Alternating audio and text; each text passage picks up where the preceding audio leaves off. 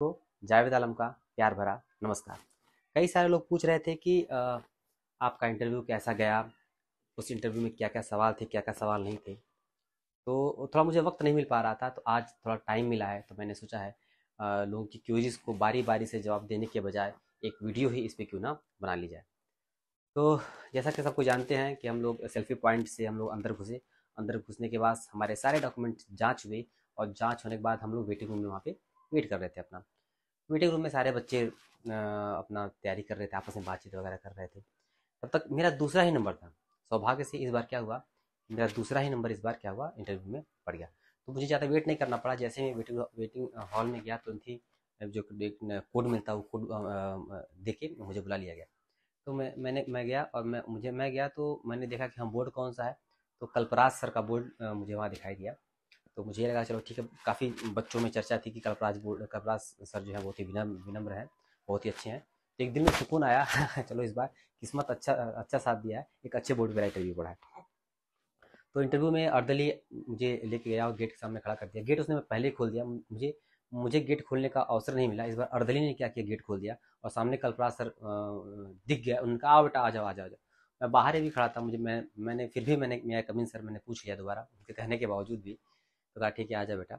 मैंने गया मैंने कल्पराज सर को विश किया जितने हमारे मेंबर्स थे सबको मैंने गुड आफ्टरनून विश किया। और इस बार सौभाग्य से उसमें कोई लेडी मेंबर नहीं थी। लेडी मेंबर होती है थोड़ा सा कन्फ्यूज़न होता है क्योंकि पहले उनको हमको विश करना पड़ता है। उनको ज़्यादा सम्मान देना पड़ता है। तो लेडीज़ कोई मेंबर लेडी मेंबर कोई इस बार नहीं थी। तो मुझे सुकून मिला कि चलो ठीक है इस बार कोई आपका लेडी मेंबर नहीं है। तो मैं अपना आराम से बैठ गया। तो उन्होंने पूछा हम्म, और बताइए सर कैसे हैं आप? ठीक है सर अच्छे हैं। तो क्या कर रहे हैं आज आजकल आप? तो क्योंकि हम लोग भी इंटरव्यू के दौरान कुछ आ, हम लोग ये सोचते हैं कि इंटरव्यू हमारी दिशा में घूम जाए। इंटरव्यू मेरी तरफ़ चला है। तो मैंने कहा कि सर नेपाल से सटे एक गाँव है और उस गाँव में आ, मैं बतौर सहायक अध्यापक मैं अभी कार्यरत हूँ वहाँ पे मैं। टीचिंग में सर नेपाल में पढ़ा रहे हैं आप? शायद उनको सुनने में थोड़ी सी दिक्कत आई होगी। ऐसा आप लोगों को पता ही है कि मैं थोड़ा तेज़ बोलता हूँ। तो उन्होंने थोड़ा मज़ा लिया गया है। नेपाल में पढ़ा रहे हैं आप? तो कैसे नेपाल में नहीं सर, नेपाल से सटे एक गाँव है, एक ब्लॉक हमारा है, उसमें मैं एक गाँव में पढ़ा रहा हूँ। कहा अच्छा तो मुझे पता था कि जब जहाँ भी, जहाँ, जैसे हम लोग क्या करते हैं कटिया फेंकते हैं कि मछली फंस जाए उसमें, ताकि सवाल उस पर आना शुरू हो जाए। तो जैसे ही मैंने नेपाल का नाम लिया तो नेपाल से सवाल आना शुरू हो गए। तो सीमा पे क्या क्या समस्या है नेपाल की? मैंने समस्याएँ बताई। तो कहते सामान तो बहुत इधर उधर होता है नेपाल में, बहुत तस्करी वगैरह होती है, क्या आप मदद नहीं करते हैं, क्या उन लोगों की? तो मैं मैं क्यों कहूँ क्या क्या क्या, इसमें कहना है, क्या नहीं कहना है? तो कोई भी बंदा रहेगा कहेगा कि नहीं नहीं करते मैंने कहा सर ऐसी बात नहीं है। जो वहाँ पे आ, मेरा काम पढ़ाना है मैं पढ़ाता हूँ। सीमा पार जितने भी व्यापारी लोग हैं वो लेके आते जाते हैं।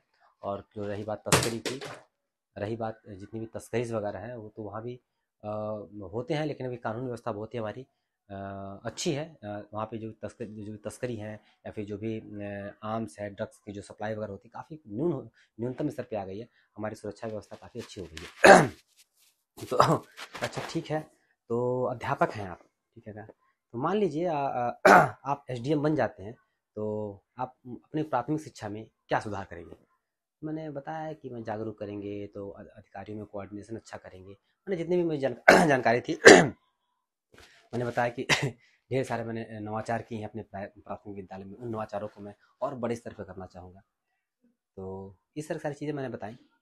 तो फिर उन्होंने सवाल किया कि मान लीजिए आपके स्कूल में एक, क्या कहते हैं कि एक पैंसठ साल की बुज़ुर्ग महिला आती है तो उसको आप क्या बताएँगे कि उत्तर प्रदेश सरकार उनके लिए कौन कौन सी योजना चला रही है? तो मैंने बताना शुरू किया, भाई भाई वृद्ध है, पैंसठ साल की है तो वृद्धा पेंशन योजना चलेगा। अगर उनके घर में कोई बेटियाँ है, कोई लड़की वगैरह है तो के से लेकर पीजी तक सरकार क्या कर रही है? मुफ़्त शिक्षा लेके आई है बच्चियों के लिए आई है। तो उन्होंने मैं, अभी मैं बोले बता ही रहा था योजनाएँ तो उन्होंने बीच में टोक दिया। स्वास्थ्य स्वास्थ्य के बारे में आप कुछ नहीं बताएँगे क्या? स्वास्थ्य की कौन सी योजना जो केंद्र सरकार चला रही है? हालाँकि ध्यान रहे उन्होंने पहले यूपी सरकार पूछा था लेकिन बाद में उन्होंने कह दिया कि केंद्र सरकार की कौन सी योजना चल रही है?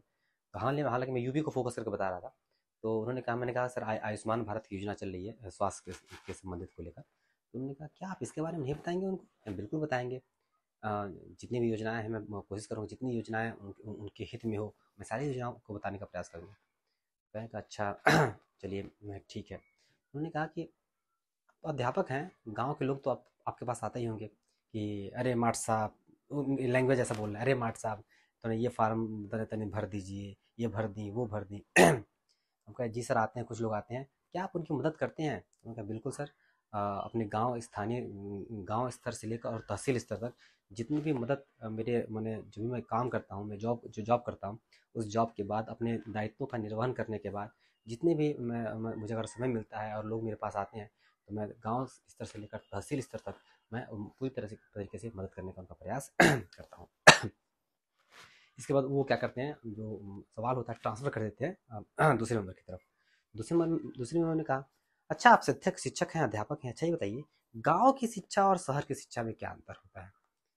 मैंने बताया कि शहरों में थोड़ा सी जागरूकता ज़्यादा है गाँव में कम है, शहरों में ज़्यादा, क्या कहते हैं अभी संसाधन मिल पा रहा है। जैसे मान लीजिए डिजिटल इंफ्रा है, वो शहरों में ज़्यादा है, गाँव में अभी कम है। तो अभी मैंने ये बताना शुरू किया था तो उन्होंने बीच में बीच में रोक दिया था। अच्छा कि आप इतिहास के विद्यार्थी हैं तो कौन सा सेगमेंट जो है आपको बहुत ज़्यादा अच्छा लगता है? ये प्राचीन आपको अच्छा लगता है कि मिडल अच्छा लगता है, मॉडर्न अच्छा लगता है? मैंने कहा, सर, देखिए, मैंने स्नातक की पढ़ाई मैंने प्राचीन इतिहास से की हुई है। तो मुझे लगता है कि, सर, मैं जो प्राचीन इतिहास है, उसमें ज़्यादा कंफर्टेबल फील करूँगा। उन्होंने कहा अच्छा चलिए बताइए, उत्तर प्रदेश में कौन कौन से प्राचीन अभिलेख पाए गए तो मैंने बताना शुरू किया। अशोक का सारना स्तंभ है एक दो मैंने और बताया, उसको बताया कि हमारे ज़िले में क्या कहते हैं, जो क्या कहते हैं, कन्हैया बाबा का स्थान है, जो चौक में अभी ए ने खुदाई की है, वो भी एक महत्वपूर्ण अभिलेख साबित हो सकता है आने वाले दिनों में। कहा कि कौन सा जिला आपका? महाराजगंज कहा जी सर, मैंने महाराजगंज।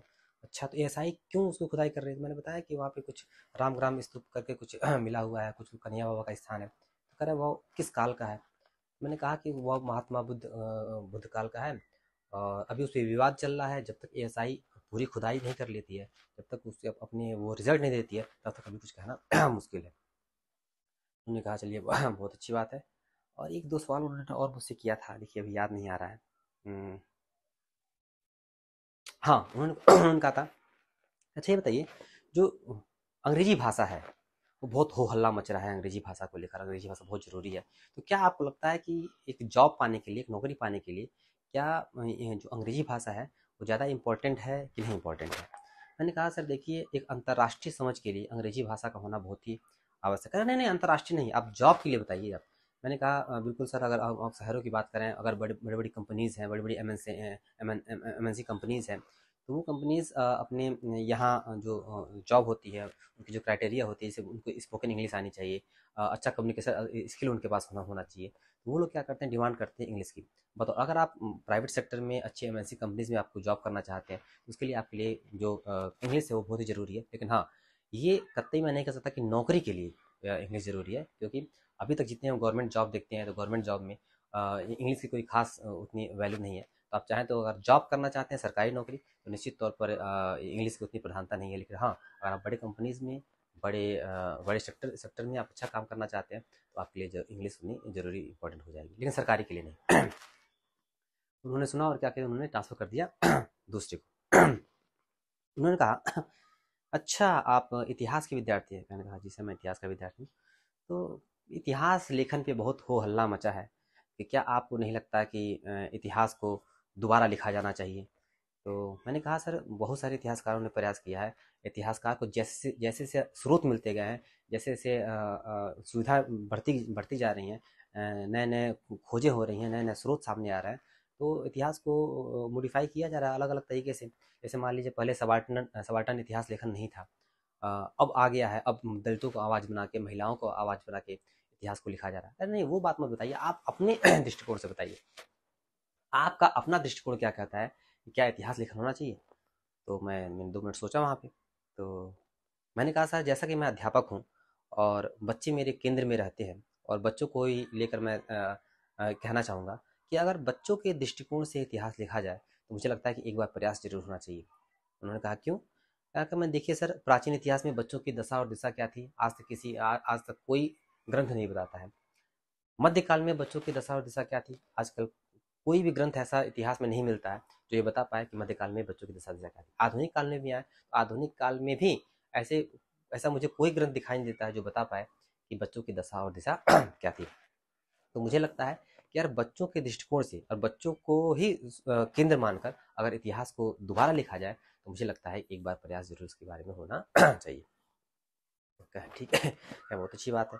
तो उन्होंने कहा कि अच्छा बताइए कि जितने विकसित देश हैं जितने भी विकसित देश हैं वो टाइगर के पीछे नहीं पड़े हैं। लेकिन जितने विकासशील देश हैं, वो टाइगर को लेकर हो हल्ला मचाए टाइगर बचा लें, टाइगर बचा लें, टाइगर बचा लें। लेकिन जितने जितने विकसित देश हैं, कोई इसके बारे में चिंतित नहीं है, उसको कोई, उसको कुछ पढ़ी नहीं, टाइगर को बचाने को लेकर। आपका क्या कहना है? तो हमने कहा, सर, कि हम जैव विविधता को संरक्षित करने का प्रयास करते हैं। हम वसुधैव कुटुम्बकम की बात करते हैं। हम ये नहीं कहते कि सिर्फ़ टाइगर को ही बचाएँ, हम अन्य जितने भी जीव जंतु हैं सबको बचाने का प्रयास करते हैं। हैदराबाद में जब हमारा सम्मेलन विविधता का हुआ था भारत में, हमने अशोक को नाम लेकर हमने संबोधित किया था। तो ये जो जो जैव विविधता को संरक्षित करने की जो हमारी परंपरा है, वो आज की परंपरा नहीं है। वो हमारी बहुत ही प्राचीन परंपरा है जो अशोक के काल से अभी तक चली आ रही है। मुझे लगता है कि सिर्फ़ टाइगर की बात मैं नहीं कर रहा हूँ, और भी जितने जीव जंतु हैं, उनको बचाने का भारत प्रयास कर रही है। नहीं नहीं, आप बात को घुमा रहे हैं, बात को घुमाने का प्रयास कर रहे हैं। आप स्पेसिफिक तौर पे आप ये बताइए, क्यों है? क्या रिश्ता है आखिर विकासशील देशों का और ये टाइगर का रिश्ता क्या है? तो हमने कहा, सर अगर मैं अपने राष्ट्र की बात करूँ, अपने देश की बात करूँ तो ये हमारे राष्ट्र की पहचान से भी जुड़ जाता है। चूँकि टाइगर है तो टाइगर हमारे देश की पहचान भी है। तो उससे पहचान से जुड़ जाता है। मुझे लगता है कि इसलिए ज़्यादा ये भारत या जितने भी लोग हैं परेशान है इसको संरक्षित करने के लिए। तो वो खुश नहीं वो, वो इतना खुश नहीं हुए वो जस्टिफाई फिर कर नहीं नहीं आप जस्टिफाई करने का प्रयास कर रहे हैं। आप स्पेसिफिक तौर पे बताइए कि क्या कहना चाहते हैं क्या आप नहीं कहना चाहते तो अब मैं मैं इस पर कई लोगों की पाँच सात मिनट तक की चर्चा इस पर हो गई थी। मैं बताता जा रहा था वो उस पर संतुष्ट होने का वो नहीं कर रहे थे। तो मैंने कहा सॉरी सर फ़िलहाल मैं भी इतना सोच पा रहा हूँ। तो वहाँ से क्या हुआ उन्होंने क्या कर दिया क्या ट्रांसफ़र कर दिया दूसरे को। हालाँकि इससे पहले भी दो सवाल उन्होंने किया है। वो याद नहीं आ रहा कौन सा सवाल उन्होंने किया। नहीं है फ़िलहाल अभी याद नहीं आ रहा। हाँ, कुछ दो तीन सवाल उन्होंने और किए थे। दो तीन सवाल उन्होंने और किए थे। याद नहीं आ रहा है कौन सा सवाल उन्होंने किया था।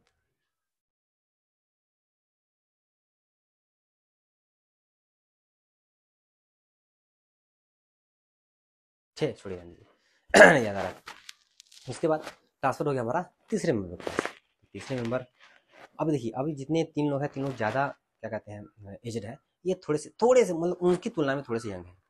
उन्होंने कहा अच्छा बताइए आप अच्छा ये बताइए कि आप यू उत्तर प्रदेश में भारत की बात कर ले तो भारत में कौन सा स्टेट है जो आपको लगता है कि बहुत ज़्यादा तरक्की कर रहा है और वो नंबर वन पे इस समय आपकी नज़र में भारत में स्थान बनाया हुआ है? तो मैंने कहा, सर मेरे हिसाब से महाराष्ट्र ज़्यादा, इस समय ज़्यादा प्रगति पर है ज़्यादा तरक्की पे है तो वो क्यों? मैंने कहा, सर, देखिए, उसकी कोस्टल लाइन है। कोस्टल लाइन होने के साथ साथ उनको उनको, उनके यहाँ उद्योग ज़्यादा है, उनके यहाँ प्रति व्यक्ति आय बहुत ज़्यादा है। तो मैंने इसे चार पाँच कारण गिनाया कि महाराष्ट्र क्यों आगे है, क्यों आगे नहीं है। तब उन्होंने जब सुन लिया फिर कहा अच्छा यूपी से तुलना करिए, महाराष्ट्र की। यूपी किन किन किन किन फेजेस पे या किन किन कारणों से महाराष्ट्र से पीछे है? तो मैंने बताया कि अभी यहाँ पे क्या कहते हैं कि सुरक्षा उतनी ज़्यादा नहीं हमारा हमारा कोस्टल एरिया तो है नहीं आ, हमारे यहाँ सी रूट कोई है नहीं है फ़िलहाल तो हमें हम लैंड लॉक्ड स्टेट हैं। उसके बाद अभी हमारे यहाँ जो क्षेत्रीय असमानताएँ हैं वो बहुत ज़्यादा हैं बहुत ज़्यादा है उसको हम कभी पार पार्ट नहीं कर पा रहे हैं। उसके बाद हमारे यहाँ सुरक्षा की भी थोड़ी बहुत कमी है जिसे निवेश करने में लोग यहाँ डर रहे हैं और हालाँकि और जनसंख्या भी यहाँ पे ज़्यादा है जनसंख्या ज़्यादा ज़्यादा होने की वजह से यहाँ पर थोड़ी सुरक्षा में थोड़ी समस्याएँ आती हैं। लेकिन हाँ लेकिन यह है कि हम प्रयास कर रहे हैं, हम निपटेंगे और हमारे ग्लोबल इन्वेस्टर समिट आया है और साढ़े तैंतीस लाख करोड़ का इन्वेस्टमेंट इसमें आया है और हमें उम्मीद लग रहा है कि हम क्या कर सकते हैं इसको, आप पार पा सकते हैं। कहा, चलिए ठीक है अच्छा। आप पिछले दस साल से तैयारी कर रहे हैं और हाँ अध्यक्ष महोदय अध्यक्ष महोदय ने शुरू में पूछा था मुझसे और तभी ये पूछे। अध्यक्ष महोदय ने यही कहा था कि आप गाँव में रहते हैं, तैयारी खास कर रहे हैं आप? तो मैंने कहा, सर, मैं गाँव से ही मैं तैयारी कर रहा हूँ। कर आप कहीं तैयारी करने, बाहर नहीं गया नहीं सर, मैं तैयारी करने के लिए कहीं बाहर नहीं गया। मैं गाँव से ही रह कर तैयारी कर रहा हूँ। तो उन्होंने कहा कब से तैयारी कर रहा है? मैं कहा, जैसे मैं जॉब लगी है, दो हज़ार तेरह से लेकर मैं अभी तैयारी कर रहा हूँ। दस साल आपको तैयारी करते हो गए? जी सर। तो उन्होंने कहा कि, आपके जज्बे को मैं सलाम करता हूँ। तो मैंने कहा, थैंक यू सर। तभी तब उन्होंने सवाल शुरू किया था। तो वो सवाल उन्होंने सुना हुआ था। तो उन्होंने कहा आप दस साल से तैयारी कर रहे हैं क्या कारण था कि आप अभी तक सफल नहीं हो पाए? दस साल में क्या कारण था? तो मैंने कहा सर देखिए सर अभी क्या कहते हैं कि संसाधन की वहाँ बहुत कमी थी। संसाधन और वहाँ पे क्या कहते हैं कि अभी एक मैगज़ीन के लिए मुझे बहुत दूर जाना पड़ता था वहाँ मैगज़ीन वगैरह लेने के लिए। तो वहाँ पे संसाधन बिल्कुल अलग थे। वहाँ पे कोई इस, इसके बारे में बात करने वाला नहीं था। दूसरी बात जैसे अभी मेरी तैयारी थोड़ी सी अभी अच्छी हुई थी मेरी मेरी शादी हो गई मैं मैरिड हो गया। और उसके बाद मुझे परिवार को भी थोड़ा बहुत वहाँ पर समय देना पड़ता था। उन्होंने वहीं, बीच में, वहीं बीच में काट दिया। अच्छा तो आप जब एस बन जाए, तब परिवार को आप कैसे समय देंगे? हम कैसे जब एस बन जाएँगे तो अपने दायित्व का पूरा निर्वहन करेंगे। दायित्व को निर्वहन करने के बाद अगर समय मिलेगा तो अपना, क्या कहते हैं, अपने परिवार को हम समय देंगे। तो उन्होंने कहा तो उन्होंने सवाल को ही काट दिया। भैया अभी मैं बताना ही शुरू किया था क्या क्या समस्या है तो उन्होंने जैसे मैरिड मैरिड वाला बात सुना तो उन्होंने क्या कहते उसको वहीं पर काट दिया। तो उन्होंने कहा अच्छा आप इतिहास के विद्यार्थी हैं। इतिहास में किस व्यक्ति से आप प्रभावित हैं? मैंने कहा, सर, मैं गौतम बुद्ध से बहुत प्रभावित हूँ। तो उन्होंने कहा, क्यों? तो मैंने कहा, सर, मुझे आत्मदीपो भव और मध्यम मार्ग मुझे बहुत मुझे बहुत प्रभावित करता है। क्योंकि गाँव के एरिया में जहाँ कोई तैयारी करने वाला नहीं था, कोई साथ में नहीं था, कोई संसाधन नहीं था, कोई स्रोत नहीं था तो मैंने अपने आप को चलाया आत्मदीपो भव की मैंने संकल्पना को अपने हृदय में उतारा और मैंने सोचा मैंने क्या अपने तैयारी क्या कितनी कितनी बार परीक्षा आप लगभग लगभग आप दे चुके हैं, कितनी परीक्षाएँ दे चुके हैं। मैंने उससे पूछा, सर एकेडमिक की बात कर रहे हैं कि आप क्या कहते हैं कि कॉम्पिटेटिव की बात कर रहे हैं? दोनों मिला के बताइए। मैंने कहा, सर, कि अभी तो मैं ट्वेंटी प्लस तो मैं एग्ज़ाम दे ही चुका हूँ। दस मान लीजिए एकेडमिक्स की ले लीजिए और दस आप कॉम्पिटेटिव ले लीजिए तो ट्वेंटी प्लस मैं एग्ज़ाम दे ही चुका हूँ। तो उन्होंने क्या किया? वहीं से क्या किया? इंटरव्यू ट्रांसफ़र कर दिया उनको, क्या कहते हैं? चेयरमैन साहब को, वापस घूम गया। तो उन्होंने सुना हुआ था कि जनसंख्या, मैंने बताया था कि जनसंख्या उत्तर प्रदेश के लिए समस्या है। तो उन्होंने वही वो किया कि जनसंख्या को क्या आप एक अभिशाप मानते हैं।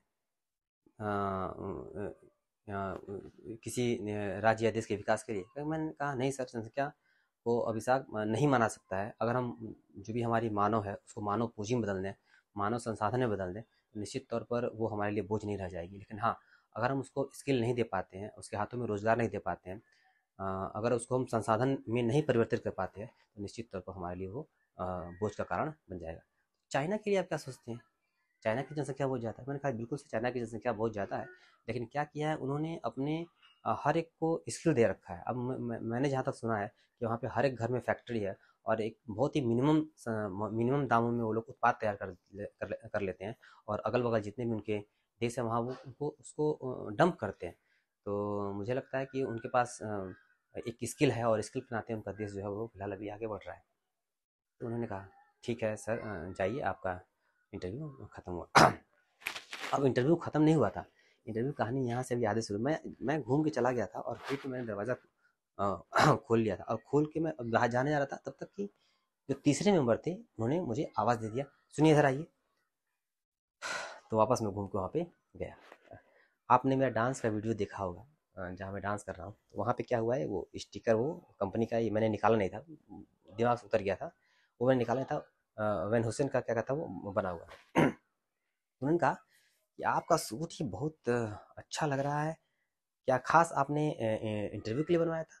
मैंने कहा नहीं सर ये मेरे बाबू का एक प्रोग्राम था। तो बोर्ड सर अध्यक्ष पूछ रहे हैं बाबू कौन तुम्हारा बेटा? कहा जी सर मेरे बेटे का एक प्रोग्राम था उसी प्रोग्राम में मैंने ये सूट लिया था। आ, इसको मैं पहन आज पहन के आ गया हूँ। कह रहा है कि आप महँगा लग रहा है ये सूट किस कंपनी का है? ये तीसरे मेंबर पूछ रहा है। तो अब मैं मुझे तो कंपनी कंपनी के बारे में मुझे पता ही था। मैं क्यों कहूँ? मुझे लग जाएगा कंपनी के बारे में कहूँगा तो हो सकता है कि गर्व से है इतनी महँगी कंपनी का पहन के आया है और इतना महँगा पहन के आया है कहीं वो लग जाए। तो मैंने कहा सर देखिए उसी प्रोग्राम में आ, मेरी वाइफ ने गिफ्ट किया था मुझे मुझे कंपनी के बारे में नहीं पता। कंपनी के बारे में तुमको नहीं पता? तुमने सूट पहन रखा है तुमको उसी कंपनी के बारे में नहीं पता? नहीं सर मैं ध्यान नहीं दे पाया हूँ, सर, मैं अभी मैं ध्यान दूँगा इस किस कंपनी का है। अरे तुम गड़बड़ बोल रहे तो अध्यक्ष महोदय कर रहे अरे सर, छोड़िए, जाने दीजिए। और मुस्कुरा रहे थे, हंस रहे थे और मुझे आँख मार कैसे इशारा कर रहे थे, जाओ जाओ तुरंत इंटरव्यू खत्म हुआ। तो अध्यक्ष महोदय के एक्सप्रेशन से मुझे लग गया था कि इंटरव्यू मेरा ठीक गया है, क्योंकि इस तरह का एक्सप्रेशन हर कैंडिडेट को नहीं मिलता होगा। तो मुझे दिल में सुकून लेके, मैं मुस्कुराहट लेके और सबको मैंने धन्यवाद दिया और धन्यवाद करके मैं क्या वहाँ से बाहर निकल गया। तो कुल मिला के पिछली बार की अपेक्षा ये इंटरव्यू बहुत अच्छा हुआ है। जैसे उनका, जैसे चेहरे के हाव भाव से पता लग जाता है तो जितने भी इनके इस एक मेंबर को छोड़ दिया जाए तो बाकी जो तीन मेंबर थे, उनके चेहरे के हाव भाव से लग गया था कि हाँ वो मेरे जवाब से इस बार संतुष्ट है। पिछली बार तो हर एक, किसी सवाल पर नहीं संतुष्ट नज़र आ रहे थे। इस बार लग रहा था कि हाँ ठीक है, कोई इंटरव्यू अच्छा गया तो खैर, उम्मीद कर सकते हैं अच्छे के लिए, लेकिन सब इस इसका खेला है, किस्मत का खेला है। अगर किस्मत में होगा तो नौकरी मिलेगी। नौकरी तो मेरे पास है, ही है वो एक अच्छा पद मिलेगा। नहीं मिलेगा तो फिर अपना कर्म है, कर्म करना। मेहनत करेंगे, फिर आगे बढ़ेंगे। एक प्रयास और करेंगे। तो बढ़ना हम लोग का काम है। एक काम है पढ़ना पढ़ना पढ़ना पढ़ना। ठीक है? तो यही था कुल मेरा इंटरव्यू आपको कैसा लगा? आप ज़रूर कमेंट करके बताइएगा। ठीक है? और हाँ आप फॉलो नहीं किया तो फॉलो कर लीजिएगा। और अगर आप यूट्यूब पे इसको देख रहे होंगे तो थोड़ा सब्सक्राइब कर लीजिएगा। ठीक है? अच्छा नमस्कार।